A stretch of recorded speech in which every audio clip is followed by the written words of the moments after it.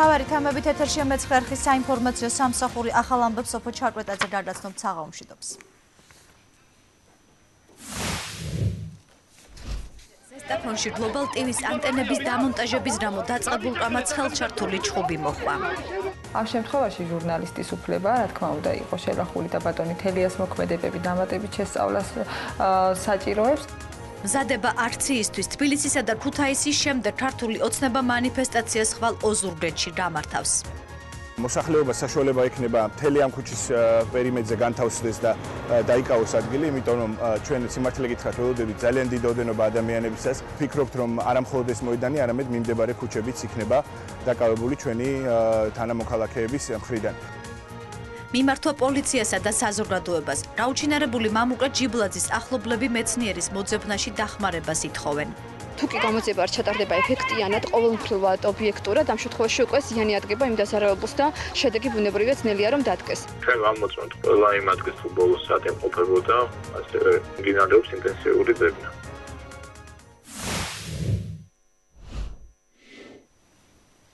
დავით რარეთში ვითარება კლავუცლელია უდაბნოს მონასტრის ტერიტორიაზე უცხო ქვეყნის მესაზღვრები. ისევდრანან ამჯერად ისინი მომლოცველებს და ტურისტებს რადადრილებას არ უგზალავენ მაგრამ ლავრაში მოღვაწე სასულიერო პირები ამბობენ რომ თუ მესაზღვრები ტერიტორიას დაუყოვნებლივ არ დატოვებენ შემდეგ უკვე მათი გაშვება გართულდება. თუმცა თავის დროზე ხელისუფლებამ საზოგადოება იმით დაამშვიდა რომ წმინდა ადრილიდან აზერბაიჯანელი მესაზღვრების დასვლა ჩიკაგოში ორი ქვეყნის პრეზიდენტის დონეზე გადაწყდა. დავით რარეთშის ლავრა დღეს კიდევ ერთხელ მოინახულა თორნიკე არაჩხელაძემ დეტალები ნახეთ მის სიუჟეტში. დავით გარეჯის უდაბნოს მონასტრის ტერიტორიაზე აზერბაიჯანელი მესაზღვრეები ისევ დგანან. ამჯერად ისინი აღდგომის ტაძართან ელია წინასწარმეტყველის ნიშთან არიან. 6 მაისის შემდეგ აზერბაიჯანელი მესაზღვრეები დგანან უდაბნოს მონასტერში და როგორც ჩანს არც აპირებენ იქიდან წასვლას. მიუხედავად იმისა, რომ ჩვენ მივიღეთ პირობა 21 მაისს 10 სამუშაო დღეში მოგვარდებოდა ეს საკითხი და აზერბაიჯანელი მესაზღვრეები იქ აღარ იქნებოდნენ, მაგრამ თითქმის უკვე თვე გადის და სიტუაცია რჩება უცვლელი. ჩვენთვის მიუღებელია კიდევ ერთხელ ანუ კატეგორიულად მიუღებელია რომ ჩვენ სიწმინდეებში იდგეს შეერაღებული უცხო ჯარისკაცი. აზერბაიჯანელებთან ერთად სიტუაციას ქართველი მესაზღვრეებიც აკონტროლებენ, როგორც ისინი აცხადებენ, გადაადგილება ტურისტებს, მომლოცველებსა და ჟურნალისტებს უპრობლემოდ შეუძლიათ. იგივეს ამბობენ აზერბაიჯანელებიც, თუმცა კამერასთან საუბარს ერიდებიან. А что насчет передвижения? Тут могут свободно передвигаться? Конечно, свободно. Вы как видели, да? Вот сейчас поднимаются все люди, свободно передвигаются. გადაადგილება რომ თავისუფლად შეიძლება ამას ისრაელიდან ჩამოსული ტურისტებიც ადასტურებენ. აქ ჯარისკაცები დგანან, მაგრამ არანაირი პრობლემა არ გვექნება. თავისუფლად შეგვიძლია ეკლესია მონასტრების ნახვა. როდის მოგვარდება პრობლემა და როდის გაივლება საზღვარი ორ ქვეყანას შორის? დავით გარეჩი ამბობენ რომ კითხვა ბევრია თუმცა პასუხები გაურკვეველი და ზოგადი. უდაბნოს მონასტრის ბედი კვლავ გაურკვეველია. დავით გარეჩი მოღვაწე სასულიერო პირები ამბობენ რომ საჭიროა პრობლემა დროულად მოგვარდეს და ქართულ სიწმინდეებზე დავაერთხელ და სამუდამოდ დასრულდეს მორიდი თავდასხმა ჟურნალისტებზე საჯარო მოხელეები ღია აგრესიაზე გადადიან და უკვე კამერებსაც აღარ ერიდებიან ხელჩართული ჩხუბი ზესტაფონში გლობალ ტივის სატელიტურ ანტენებთან დაკავშირებით კონფლიქტს მოყვა. მოსახლეობამ ჟურნალისტებს დახმარებისთვის მიმართა თუმცა მოგვიანებით უკვე მედიის წარმომადგენლებს დაჭირდათ დახმარების დაწევა. დღეს გმირები ადრილობრივი სამხედრო კომისარი და ხანძარსაწინააღმდეგო სამსახურის უფროსი იყვნენ. ახალგაზრდა იურისტთა ასოციაცია მომხდარს სიცხლის სამართლის დანაშაულის კვალიფიკაციას აძლევს ინფო 9 საქმის გამოძიების მოთხოვნით პროკურატურას უახლოეს მომავალში მიმართავს.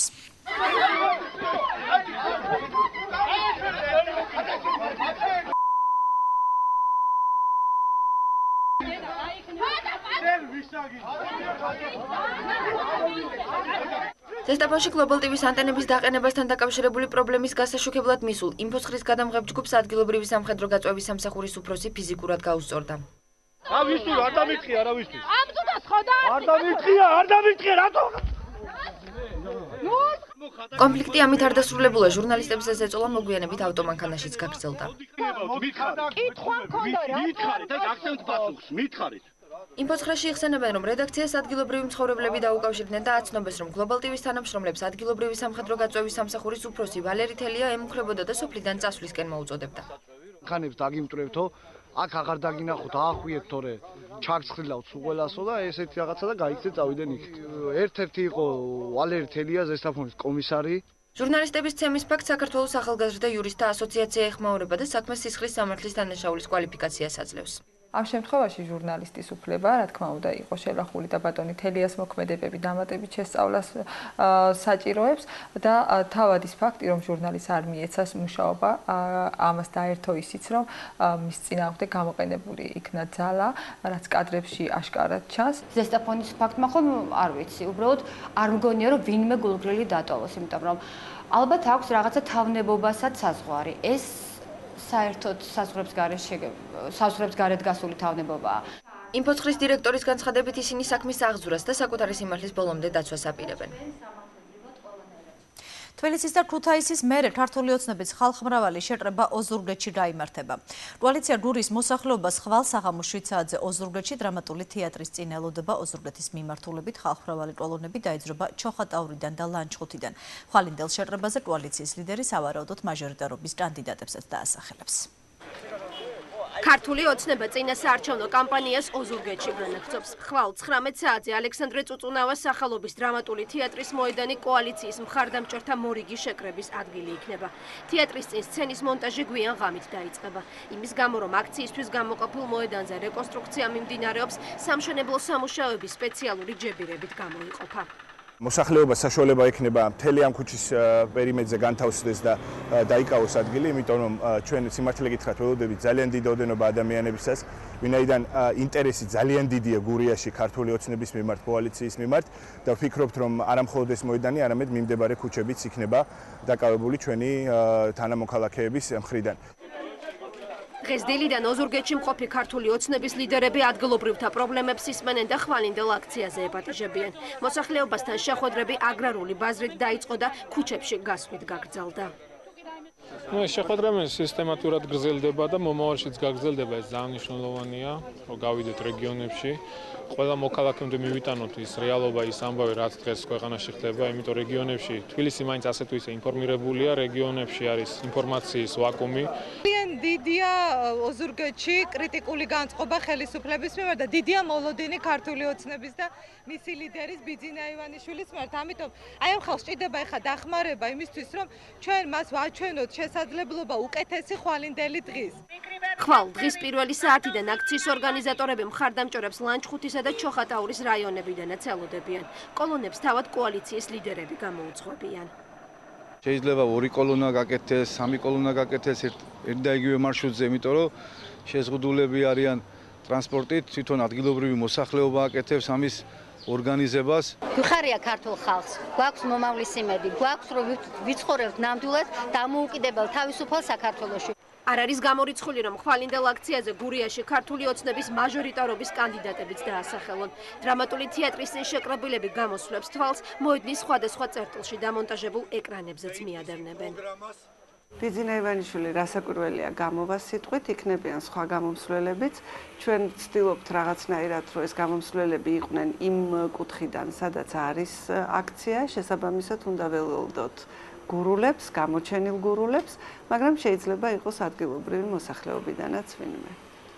ქართულმა ოცნებამ წინასაარჩევნო კამპანია თბილისიდან დაიწყო. 27 მაისს კოალიციის მხარდამჭერები თავისუფლების მოედანზე შეიკრიბნენ. 10 ივნისკი კამპანია ქუთაისში გაგრძელდა.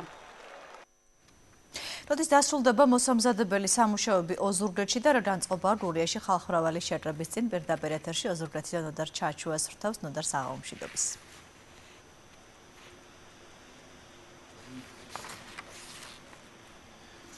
საღამომშვიდობის სოფო მოსამზადებელი სამუშაოები გურიაში აქ თეატრის წინ მოედანზე ჯერჯერობით არ დაწყებულა სავარაუდოდ ეს სამუშაოები გვიან ღამით დაიწყება. რაც შეეხება მოედნის იმ ნაწილს რომელზეც რომელზეც რეკონსტრუქცია მიმდინარეობს ჩვენ გავესაუბრეთ ადგილობრივ მცხოვრებლებს და როგორც ისინი გვეუბნებიან რეკონსტრუქციის სამუშაოები დაახლოებით 3 თვის წინ დაიწყო თუმცა ინტენსიური სამუშაოები სულ რამდენიმე დღის წინ დაიწყეს მუშებმა რადგან დაახლოებით 2 თვეზე მეტი უკვე 2 თვეზე მეტი შეჩერებული იყო ეს სამუშაოები. დღეს ასევე გავრცელდა ინფორმაცია იმასთან დაკავშირებითაც რომ აქ ოზურგეთში გრიბოედოვის ქუჩაზე 3-4 სართულიან კორპუსში, რომლის სახურავიც არის საკმაოდ ცუდ მდგომარეობაში და ყოველი გაწვიმებისას ზედა სართულებს წყალი ჩადით, დღეს იმყოფებოდნენ ადგილობრივი გამგეობის წარმომადგენლები და მათ შეპირდნენ, რომ ისინი გადაუხურავდნენ ამ სახლს. ეს დაგვიდასტურეს, რა თქმა უნდა, ადგილობრივმა ცხოვრებლებმაც.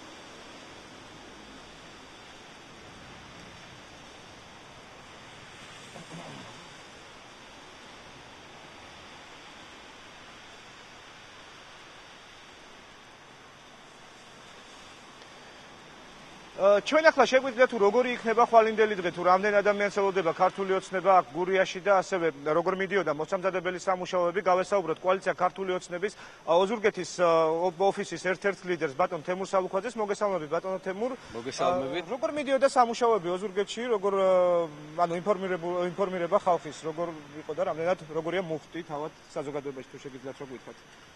განწყობა არის საზეიმო ბატონი ჩვენი ლიდერი ბატონი ბიზინა ივანიშვილი ეწევა გურიას და ხვალ ძალიან მნიშვნელოვანი დღე არის როგორც გურულებისათვის ასევე მთელი საქართველოსათვის. ხვალ გურია დააფიქსირებს თავის პოზიციას სააკაშვილისა და მისი რეჟიმის რეჟიმთან მიმართებაში.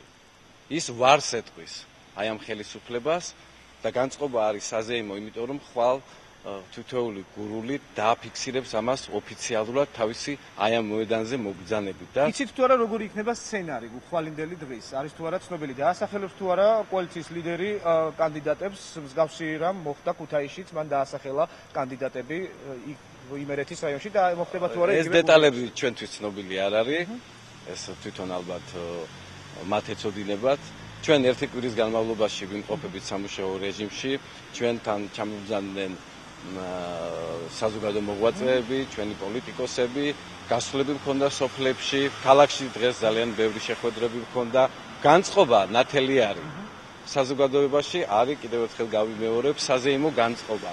ესეთი რამ ჩემს ცხოვრებაში არის პირველად, როდესაც ერთსულოვნება. მთელი გურულები არის ერთსულოვანი აი ამ გადაწყვეტილებაში. გურულები ხვალ ვარს ეტყვის სააკაშვილსა და მის რეჟიმს. ისინი ირჩევენ განვითარების გზას, ისინი ირჩევენ თავისუფლების გზას, ისინი ირჩევენ პოლიტიკური კულტურის ამაღლების გზას.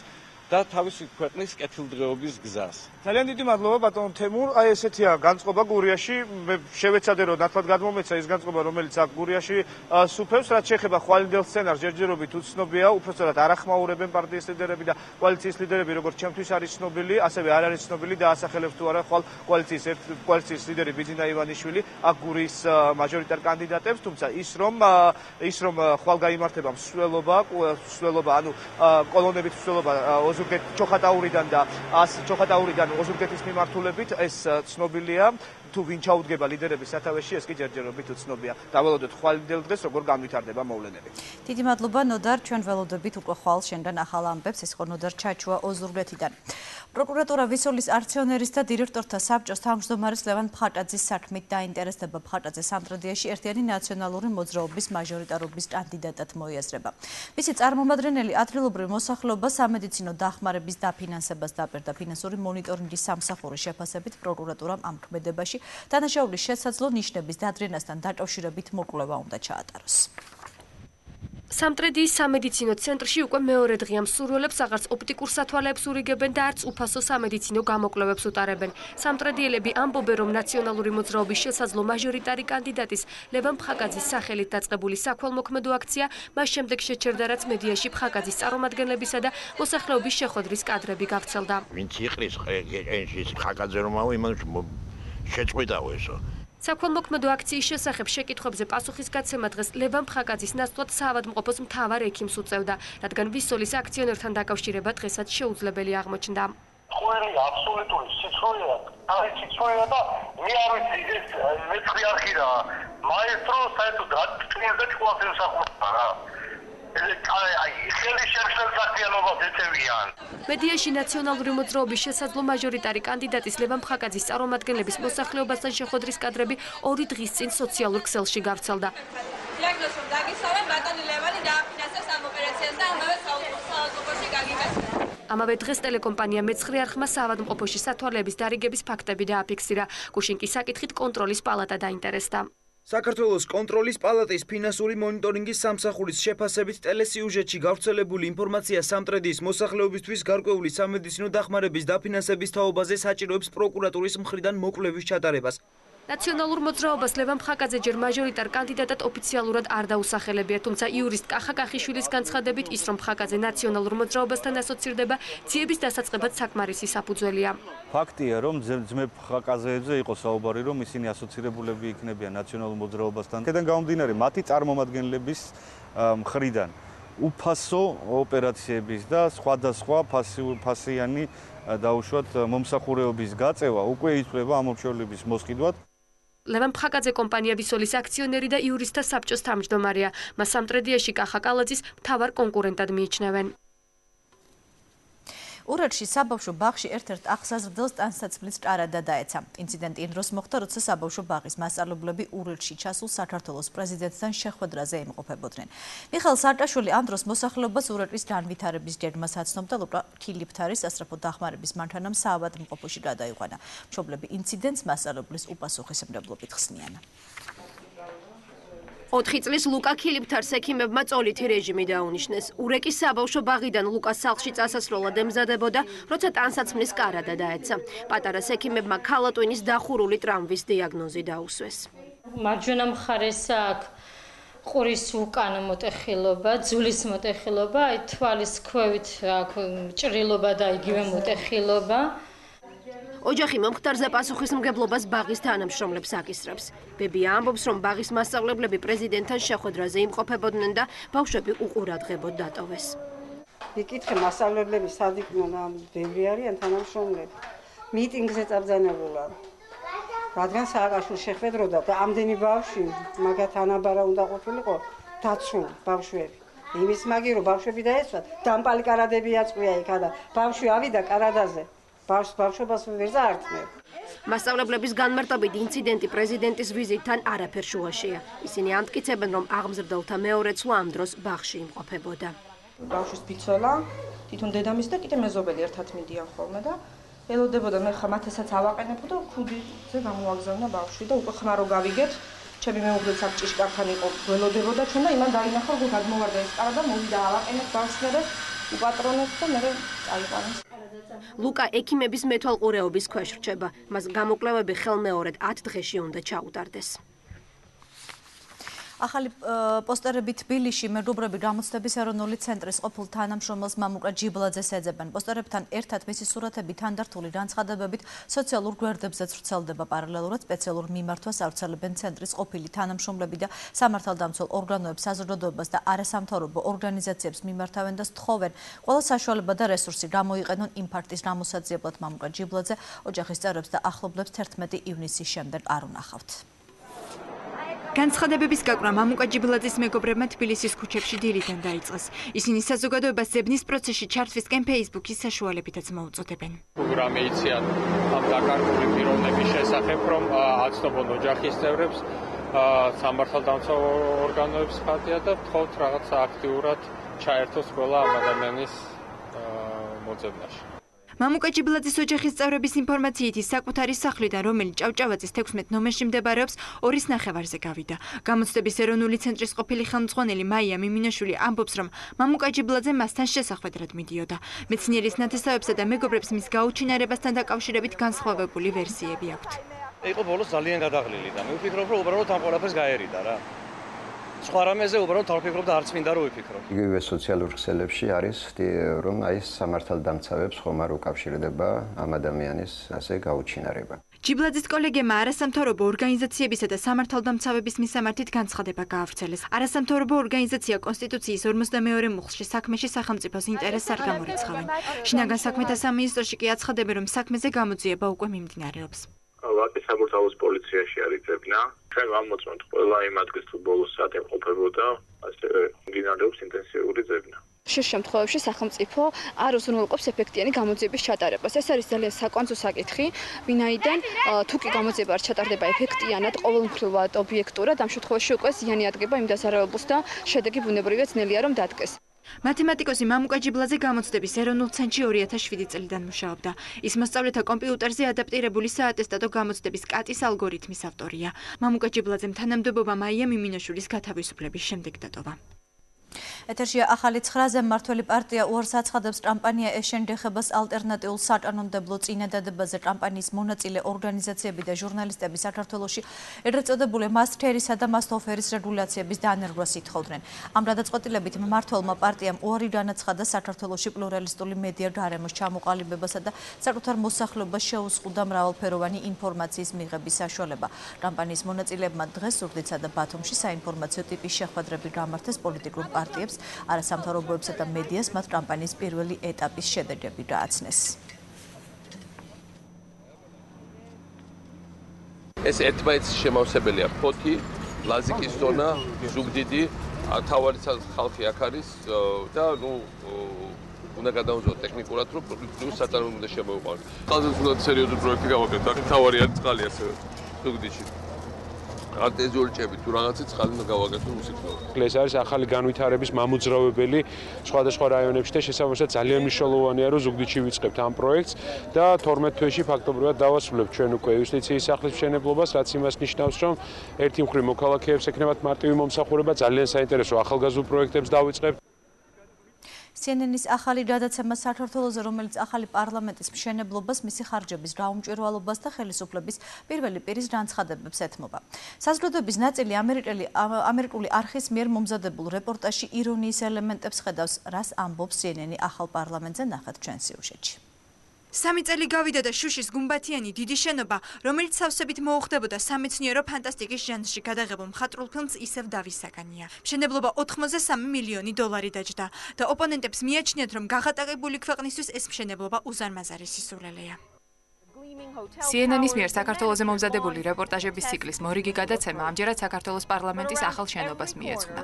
ავტორიტეტული ამერიკული არხის გადაცემა შენობის ისტორიის მოყოლას მემორიალის აფეთქების ფაქტით იწყებს, რომელსაც ორი ადამიანის სიცოცხლე შეეწირა.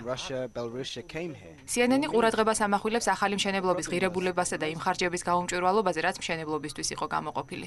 ამერიკული არხი წყარო და ახალგაზრდა იურისტთა ასოციაციის მიერ ჩატარებული მონიტორინგის შედეგებს იყენებს, რომელიც აიამ აპრილის ბოლოს გამოაქვეყნა.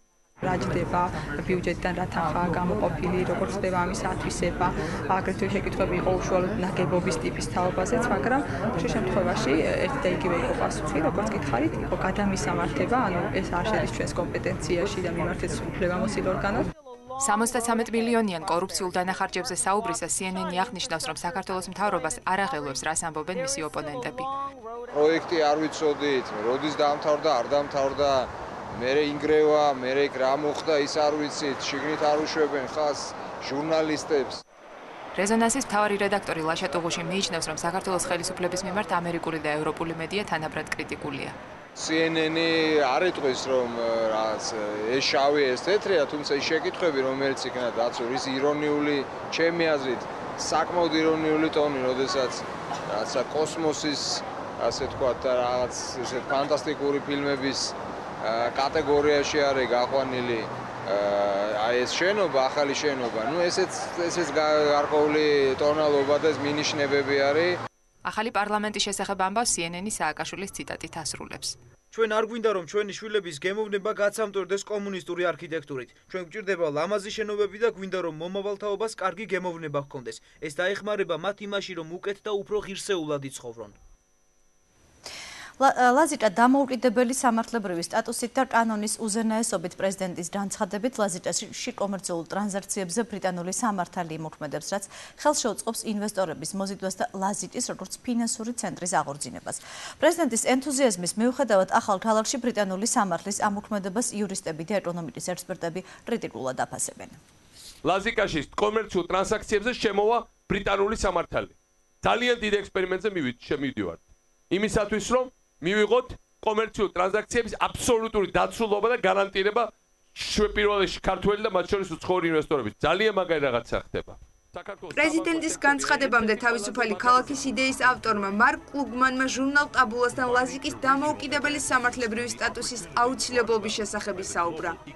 დღეს თქვენ ბევრ ქვეყანაზე უკეთესი სასამართლო გაქვთ, მაგრამ ინვესტორი მას არ იცნობს. ლაზიკაში ინვესტირების მსურველებს უნდა შეეძლოთ სამართლებრივი დავები იმ სისტემაში გადაწყვიტონ, რომელსაც იცნობენ და ენდობიან.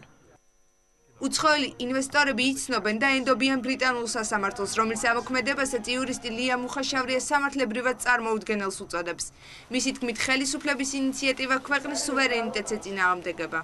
ეს ერთის მხრივ ადასტურებს იმას, რომ არანაირი ინვესტორის მოზიდვა ამ ქვეყანაში პერსპექტიული არ არის და სრულიად წარმოუდგენელი ზომები, სრულიად წარმოუდგენელი განცხადებების გაკეთება სჭირდება საქართველოს პრეზიდენტს იმისათვის, რომ ვინმე ეგევა და მოხიბლოს. ინვესტორების მოსაზიდად ახალი ქალაქის მშენებლობასა და ბრიტანული სამართლის ამოქმედებას ეკონომიკის ექსპერტი დემურ გიორხელიძე საჭირო და არ მიიჩნევს. არანაირი ბრიტანული სამართალი საქართველოში საჭირო არ არის, მას ჭირდება ქართული სამართალი მთელი საქართველოს ტერიტორია გახსნილი უნდა იყოს და ზუსტად ისეთივე პირობები უნდა იყოს ბიზნესის კეთებისთვის, როგორც ნებისმიერ ცივილიზებულ ქვეყანაში და არანაირი ლაზიკები არ იქნება საჭირო ახალი ქალაქის პროექტზე თვეზე მეტია მუშაობენ სტრატეგიული განვითარების სააგენტოსა და იუსტიციის სამინისტროს წარმომადგენლები, ასევე სპეციალური კომისია. ჯერჯერობით ლაზიკის კონცეფცია საბოლოოდ შემუშავებული არ არის. მიხალ საარტაშვილის კრიტიკის მორიდი ადრესატი ქართული ბანკები და მათი სასესხო განაკვეთებია პრეზიდენტი ღიად აცხადებს რომ კლიენტებთან საფინანსო ინსტიტუტების ხისტი დამოკიდებულება არ მოსწონს. ქვეყნის პირველი პირი ბანკირებს სიფრთხილის ჭერმა უწოდებს. სხვა შემთხვევაში კი საარტაშვილის პროგნოზი ასეთია. მორებას დახარბებულ ბანკებს საზრდოობის შუღლი არ ასწდება ქონებით უზრუნველყოფილი პრობლემური საბანკო სესხები. მიხეილ სააკაშვილისთვის საფრთხილო თემაა და ბანკებს შესაძლოა ის პრობლემათ ექცეთ. ახო, თხილად იყავით? ძალიან გთხოვთ რა. ჩვენ ვიღებ ძალიან დიდ ჯგუფს ჩვენ ქალაქებში ჩვენი მოქალაქეების რომელიც თქვენ მიერ არის გაღატაკებული განადგურების პირას მისული და ნუ ვიტყვით რომ მათ თვითონ ამი გააკეთეს ეს არჩევანი. ნუ გააკეთებთ იმას რომ მიიღოთ თელი კლასი აბსოლუტურად დამშეული გაუბედურებული განადგურებული ხალხისა სოფლიო საფინანსო კრიზისის ფონზე პრეზიდენტი ქვეყნის საკრედიტო რეიტინგის გაზრდას გეკმავს, მაგრამ შიშობს, რომ ეკონომიკურ წინსვლას არსებული მაღალი საბანკო განაკვეთები შეაფერხებენ. ბიზნესის გასავითარებლად აქ ხარ ბანკირების შეკრებილი. ჩვენ ყველა უნდა ვიმუშაოთ იმაზე, რომ საბანკო განაკვეთების საკრედიტო შემცირდეს ხალხო. არის ძალიან მაღალი და თქვენ ჩემზე კარგად იცით ეს. საბანკო სექტორი პრეზიდენტის კრიტიკას ჯერ არ გამოხმაურებია. მათი ბოლოდროინდელი პოზიციების მიხედვით საკრედიტო პროცენტების კლებაზე მკვეთრი რეაგირება ძლიერი სავარაუდოა. ზოგადად საპროცენტო განაკვეთები საქართველოში სესხებზე ალბათ უფრო მაღალია ვიდრე განვითარებულ ევროპულ ქვეყნებში, მაგრამ ამას განაპირობებს პირველ რიგში, როგორც აღნიშნე, რისკების მაღალი დონე და მეორე ის, რომ ქართულ ბანკებს არ მიუწვდებათ ხელი ისე თავისუფლად იაფ ფინანსურ რესურსებზე, როგორც მიუწვდებათ ხელი მოწინავე დასავლურ ბანკს. ეკონომისტებს მიაჩნიათ, რომ პრეზიდენტის რეაქციის სამიზნე კომერციული ბანკებისა და საკრედიტო განაკვეთების ნაცვლად რიგითი ამორჩევლის სიმპათია იყო. ექსპერტებისთვის კრედიტების ხელმისაწვდომობის პრობლემის ძირითადი მიზეზი ქვეყნის ეკონომიკური გარემოა. წლების მანძილზე დაგროვება ეცემოდა, ბუნებრივია იზრდება სესხების პროცენტი, ამიტომ თლიანად ეკონომიკური გარემო არის იმის წინაპირობა, რომ შეიცვალოს მდგომარეობა, რომ საზოგადოებაში გაჩნდეს თავისუფალი რესურსი ვალების გადასახდელად. საბანკო მონაცემებით ცესხების სხვადასხვა სახეობებზე განაკვეთები 2009 წლიდან ეტაპობრივად მცირდება. რისკების გათვალისწინებით საკრედიტო პროცენტების სკალა წლიური 11%-დან 18-მდე მერყეობს. განაკვეთების კლების მიუხედავად კი ბანკების წინაშე საკრედიტო ვალდებულების მქონე მოქალაქეების რაოდენობა თვიდან თვემდე იზრდება. ამჟამად მევალეთა ელექტრონულ რეესში პრობლემური კრედიტის მქონე 120000 პირი ირიცხება. მცირე და საშუალო ბიზნესმენთა ასოციაცია სამეწარმეო დავების რანხელვის დამოუკიდებელი სასამართლოს შერქმნას ითხოვს. იდეის ავტორები ამტკიცებენ, რომ სახელმწიფო სამართლებრივი უწყებების პირობებში ბიზნესის ინტერესი ილახება და მას დაცვის ალტერნატიული ინსტიტუცია სჭირდება. ორგანიზაციის ინიციატივა პრაქტიკულად კერძო არბიტრაჟის სახეცვლილი ვარიანტია, რომელიც 8 წლის წინ საქართველოს მთავრობამ მეწარმეებთან წარდებული სამი დავის შემდეგ დანერგვიდან რამდენიმე თვეში გააუქმა. მარცხაჯულების მიმართ ბიზნესმენთან დობის ხარისხი არასათანადოა და ის გაზ დასაჭიროებს. ასეთია მცირე და საშუალო საწარმოთო ასოციაციის დასკვნა, რომლის საფუძველზეც ორგანიზაცია მთავრობას სწორი სასამართლო პრაქტიკის დამკვიდრებას თხოვს. რა თქმა უნდა, არსებობს ხარვეზები. ფიქრობთ, რომ ჩვენს მიერ შეთავაზებული ვარიანტი უფრო მეტად დამოუკიდებელ და გამჭრვალ სისტემას შექმნის, ვიდრე არსებობს დღესდღეობით საერთო სასამართლოთა სისტემაში. სასამართლო განხილვამდე საგადასახადო დავებს ფინანსთა სამინისტროს საბჭო იხილავს. მეწარმეებს ხშირად უწევთ შეცვლილი კანონმდებლობით გამოწვეული პრობლემების გადაწყვეტა. უმრავლეს შემთხვევაში დავა სახელმწიფოს სასარგებლოდ წყდება. აი ამ ახალში უკვე თითქმის მეგონი 65 შესწორება არის შეტანილი. ჩვენთან ჯერ იცვლება და სამწუხაროდ მე რეხდება იმდენად არალოგიკური პოსტულატები დევს ხოლმე შეგით რომ მე რეიცვლება ხოლმე. აი ეს უნდა შეიცვალოს. ჯერ უნდა გამოიკვლიონ მეწარმის აზრი. და მე უნდა გააკეთონ საგადასახადო კოდექსი. ბიზნესმენებს ინიციატივა მოსწონთ, თუმცა დამკვიდრებული პრაქტიკიდან გამომდინარე მისი განხორციელება ეეჭვებათ. თუ ნებელობა ზემოდან თუ ასე ვთქვათ სახელმწიფოს ესეთი ნებელობა აქვს რომ ბიზნესის მიმართ ის დამოკიდებულება იყოს როგორც ნორმალური არის ამ შემთხვევაში ესენი თავის როლს ალბათ დადებით შეასრულებენ ეკონომიკურ მიმომხილველ რევალ საყივარიშვილს კერძო არბიტრაჟის სახით ქვეყანაში მსგავსი პრაქტიკა ახსოვს. ძველი გამოცდილება დღეს კარნახობს, რომ მთავრობა დამოუკიდებელი სასამართლოების ხელახალ პრეცედენტს აღარ დაუშვებს. ჩვენ გვახსოვს, რომ სახელმწიფომ სწორედ იმ მოტივით და მას მერე გააუქმა ეს სასამართლოები, რაც სახელმწიფო უწყებებმა წააგეს რამდენიმე დავა კერძო სექტორთან. ამ თვალსაზრისით გადაწყვეტილების მიღების საფუძველი თვალსაჩინო იყო. ამჟამად რამდენად წავა სახელმწიფო ამაზე ჯერჯერობით უცნობია, თუმცა თავისთავად არბიტრაჟის ინსტიტუტის არსებობა ყველგან არის დამატებითი ინსტრუმენტი და დამატებითი გარანტია იმისა, რომ სასამართლო გადაწყვეტილებები იქნება გაცილებით ობიექტური. საგადასახადო სასამართლოების იდეას ჯერ მხოლოდ ბიზნესმენები და ეკონომისტები განიხილავენ. საექსპერტო დასკვნის თანხლებით ინიციატივა ხელისუფლებას აგვისტოს თვეში უნდა წარედგინოს. ხელოვნურ განაყოფიერებაზე შესაძლოა արձალვები დაწესდეს სტანოპროექტი, რომლის მიხედვითაც ტანოში ცვლილებები უნდა შევიდეს პარლამენტმა განსახილველად უკვე მიიღო. ტანოპროექტის მიხედვით ირძალება ხელოვნური განაყოფიერება ناყოფის გაყიდვის მიზნით. დაშვებულია მხოლოდ სურობლაცია ალტრუისტული მიზნით, რაც იმას ნიშნავს, რომ სურობლატმა დედებმა შვილები მხოლოდ ჰუმანური ინტერესით უნდა გააჩინონ. კანონპროექტი, რომლის მიხედვითაც ჯანმრთელობის შესახებ კანონში ცვლილებები უნდა შევიდეს პარლამენტმა განსახილველად უკვე მიიღო. როგორც კანონპროექტის ინიციატორი ჯანდაცვის კომიტეტის თავმჯდომარე ოთარ თოიძე ამბობს, ცვლილების მთავარი მიზანი ხელოვნური განაყოფიერების პროცედურის სამართლებრივი დარეგულირებაა. განუმიჯნავია ფუნქციები, უფლებები და მოვალეობები იმ აქტივთაცრისა, რომელიც მონაწილეობას ღებულობს ამ პროცესში, ეს არის როგორც მშობლები, ასევე დონორები, ასევე საიქიმო პერსონალი, ასევე სხვადასხვა ადმინისტრაციული ორგანოები. უბრალოდ კანონპროექტების აზრი არის დავაგდეს ამ სფეროში ეს ურთიერთობა. კანონპროექტის მიხედვით იგრძალება ხელოვნური განაყოფიერება ნაყოფის გაყიდვის მიზნით, ასევე იგრძალება კომერციული სუროგაცია, რაც იმას ნიშნავს, რომ სუროგატმა დედებმა სხვებისთვის შვილები ყოველგვარი ფინანსური დაინტერესების გარეშე უნდა გააჩინონ. სუროგატმა დედებმა და უშვილო წყვილებმა სატელევიზიო კომენტარის გაკეთება არ ისურვეს, თუმცა კანონპროექტს გამოხმაურება მოხდა ფორუმებზე. უშვილო წყვილებს ჩვენი პრობლემები არ გვეყოფა? ახლა თქვენ დაგვიწესეთ კიდევ შეზღუდვები. ერთი თქვენ იყოთ ჩვენ დღეში და მერე დავინახავდი რა შეზღუდვებს დააწესებდით. ამ კანონპროექტის შემდგენელი და განხილველი მინდა გავგლიჯო. ცხოვრებისაგან ისეთი გამწარებული ვარ.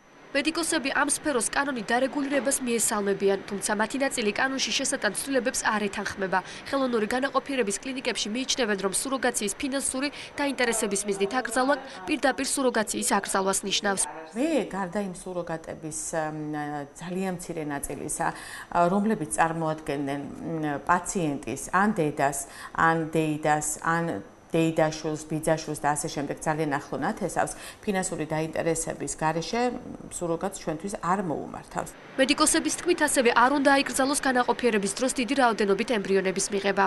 ნამდვილად არ აქვს სახელმწიფოს მორალური უფლება რომ წყვილს უთხრას რომ აი შენ თუ მიიღე 20 კვერცხუჯრედი დაგიჯდა ეს 8000 ლარი, აქედან გამოიყენე მხოლოდ 3 კვერცხუჯრედი და დანარჩენი პრაქტიკულად გაანადგურე. არ შეიძლება ვიდრე სახელმწიფო არ დააფინანსებს ინიტრო განაყოფიერებას, არ შეიძლება ასეთი პირობის დაყენება. კლინიკა ჰუმან ჯორჯიას დირექტორის თამარ ხაჭაპურიძის თქმით, ქვეყანაში, სადაც 12 კვირამდე ორსულობის აბორტია ნებადართული, საბი დღის ემბრიონზე ლაპარაკი არ უნდა იყოს.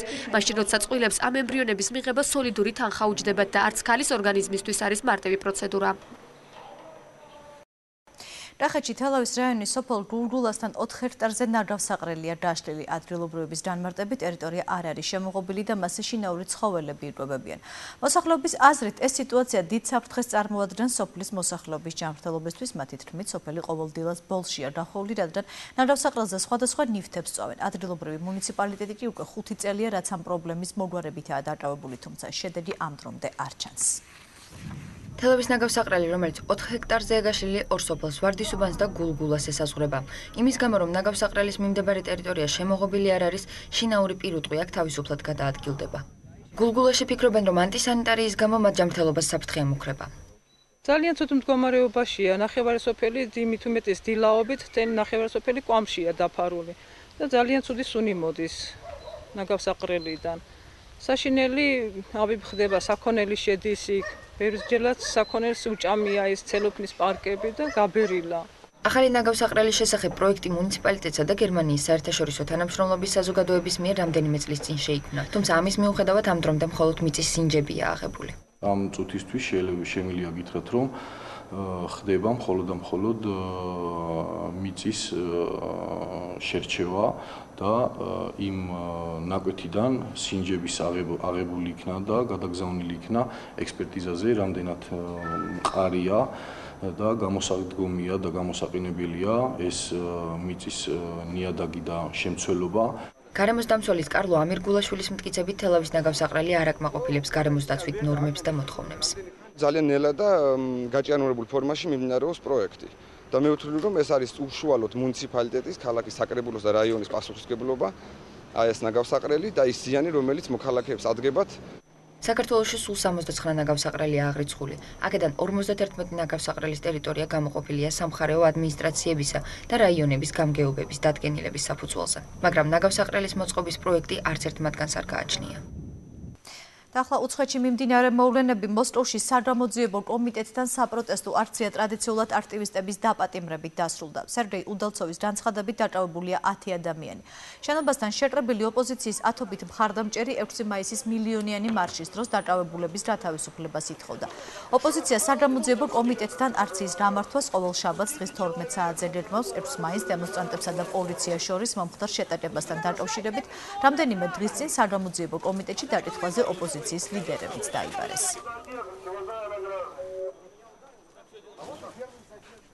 ახალგაზრდა არალეგალ ემიგრანტებს შეერთებული შტატებიდან დეპორტაცია აღარ ემუქრება საუბარია 800-მდე 16-დან 30 წლამდე ასაკის ახალგაზრდაზე, რომლებიც შტატებში 5 წელია ცხოვრობენ. დღეიდან მათ სწავლისა და მუშაობის ნებართვის მიღება შეუძლიათ. ახალი საიმიგრაციო წესები მედია შეერთებული შტატების პრეზიდენტმა გააცნო და ის ძალაში დაუყოვნებლივ შედის. პრეზიდენტ ობამას განცხადებით ეს არის უბრალოდ მართებული ნაბიჯი, რომელსაც ქვეყნის ეკონომიკასა და უსაფრთხოებაზე დადებითი გავლენა ექნება. ექსპერტების შეფასებით, პრეზიდენტის ინიციატივა წინასაარჩევნო პერიოდში ლათინოამერიკელი ამომრჩევლების ხმების მოპოვებაზეა გათვლილი. დღეს ტირით ეროვნული უსაფრთხოების მინისტრმა ჯანეტ ნაპოლიტანომ გამოსნო ის ცვლილება, რომელსაც ჩემი ადმინისტრაცია საიმიგრაციო კანონში შეიტანს იმისთვის, რომ ის უფრო სამართლიანი და ეფექტური გახდეს განსაკუთრებით იმ ახალგაზრდებისთვის, რომლებსაც ზოგჯერ მეოცნებებს უწოდებთ. ეს ახალგაზრდები ჩვენ სკოლებში სწავლობენ, სამოზობლოებში ცხოვრობენ, ჩვენ შვილებთან მეგობრობენ და ჩვენ დროშაზე ერთგულებას იფიცებენ. ისინი გულში ყველაფრით ამერიკელები არიან, გარდა ფურცელზე ამერიკელად ყოფნისა. ეგვიპტეში ჰოსნი მუბარაქის მმართველობის შემდეგ პირველი თავისუფალი საპრეზიდენტო არჩევნების მეორე ტური მიმდინარეობს. პრეზიდენტობისთვის მუბარაქის მმართველობის დროინდელი პრემიერ-მინისტრი აჰმედ ჩაფიტი და ძმები მუსლიმანების წარმომადგენელი მოჰამედ მურსი იბრძვიან. მის მიცემა ეგვიპტელებს ორი დღის განმავლობაში შეუძლიათ. დილის 8 საათზე საარჩევნო უბნებში უკვე ამომრჩეველთა რიგები იდგა. ქვეყნის მასშტაბით საპრეზიდენტო არჩევნებში სულ 50 მილიონი ამომრჩეველია დარეგისტრირებული. არჩევანის გაკეთება მათ ისლამის ლიდერსა და ყოფილ სამხედრო მაღალჩინოსთან შორის უწევთ. თუმცა ეგვიპტელების უმრავლესობას ქვეყნის სათავეში მუბარაქის ყოფილი მთავრობის წევრის დაბრუნება არ სურს. მოჰამედ მორსი ძლიერი პოლიტიკოსია, როგორც პროფესორი, იგი ძალიან განათლებულია. აკადემიური გამოცდილების გარდა მას პოლიტიკური გამოცდილებაც აქვს. ამ ყველაფრის გათვალისწინებით ჩემი არჩევანი ნათელია. არჩევანის გაკეთებისას ჩემთვის კანდიდატის წარსულის გათვალისწინება მნიშვნელოვანია. სურს ძველ რეჟიმს ბოლო ერთხელ და სამუდამოდ მოიღოს და ქვეყანა ავაშენოთ. თავიანთი არჩევანი დღეს პრეზიდენტობის კანდიდატებმაც გააკეთეს. ძმები მუსლიმანების წევრის მოჰამედ მურსის გამოჩენა საარჩევნო უბანთან მხარდამჭერები ოვაციით შეხვდნენ. ეგვიპტელმა ხალხმა რევოლუციის დროს თავისუფლება და დემოკრატია აირჩია. ეგვიპტელები უკან დახევას არაპირებენ. მე მზად ვარ მათ წინამძღოლობა გავუწიო. ქვეყნის სათავეში ქვეყნის მტრებისა და მუბარაქის მოკავშირეებისთვის ადგილი არ არის. მუბარაქის ყოფილმა მოკავშირემ აჰმედ შაფიქმა მისი მეტოქისგან განსხვავებით საარჩევნო უბანი უკომენტარო დატოვა. არაბული რევოლუციის მონაწილე პროდემოკრატიული ძალები პრეზიდენტობის ორივე კანდიდატს ეწინააღმდეგებიან და არჩევნებს ბოიკოტს უცხადებენ. ამერიკელი კონგრესმენი, რომელიც ეგვიპტეში არჩევნებს აკვირდება, აცხადებს, რომ პრობლემების მიუხედავად არჩევნები წინ გადადგმული ნაბიჯია. 18-თვიანი ექსპერიმენტის შემდეგ ეგვიპტე ჯერ კიდევ სწავლის პროცესშია. ახლა ხალხს ხმის თავისუფლად მიცემა შეუძლია, რაც წარმოუდგენელი იყო 7000 წლის წინ. ამ არჩევნებთან დაკავშირებით ბევრი კრიტიკა ისმის, თუმცა ამის მიუხედავად ფაქტია, რომ ამდენი წლის შემდეგ ხალხი პრეზიდენტს არჩევნების გზით ირჩევს და მხოლოდ ღმერთმა იცის ვინ მოიგებს. არჩევნების წინა დღეს უზენაესმა საკონსტიტუციო სასამართლომ საარჩევნო კანონის კონსტიტუციასთან შეუსაბამობის გამო ეგვიპტის პარლამენტი არალეგიტიმურად ცნო. ამიტომ საპრეზიდენტო არჩევნებში გამარჯვებულ კანდიდატს ქვეყნის მართვის დაწყება პარლამენტისა და კონსტიტუციის გარეშე მოუწევს. სირიაში ვითარების ესტრალაციის რამურგაერო სამშვიდობო მისიას ყოთ სამი შესახებ მისიის ხელმძღვანელმა დამასკოში პრესკონფერენციაზე განაცხადა. გენერალ-მაიორი რობერტ მოული კონფლიქტის დაღუვებაში ორივე მხარეს ადანაშაულებს მისი განცხადებით, არც სირიის ხელისუფლება და არც ოპოზიცია არ ცდილობს კონფლიქტის მშვიდობიანი მზით მოგვარებას. სირიაში კი ამასობაში შეერაღებული დაპირისპირება გრძელდება დასული დღეღამის განმავლობაში მსხვერპლის რაოდენობა 80 დააჭარბა.